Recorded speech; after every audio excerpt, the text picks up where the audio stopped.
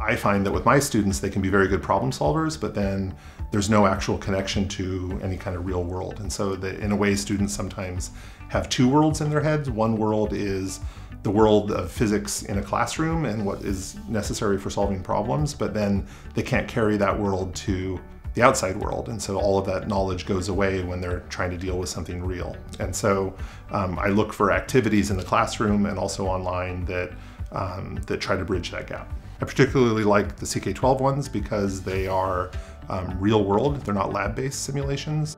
CK12 simulations make it super easy to translate like everyday items into like, into the world of like science. You might see, for instance, a lightning bolt, or you might see on during the Olympics somebody swimming or in the bobsled.